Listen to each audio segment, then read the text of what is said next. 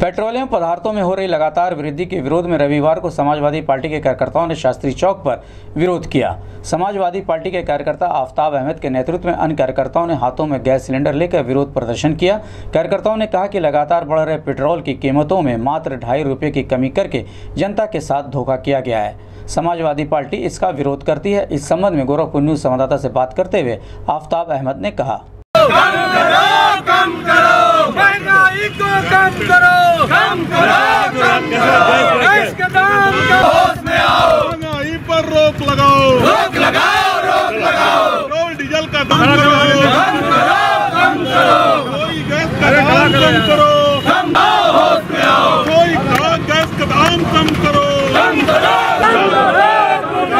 Aftab Ahmad, Samajwadi party.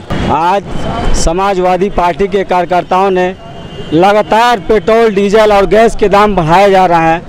इसको लेकर हम लोग आज विरोध प्रदर्शन करने का काम किया गया।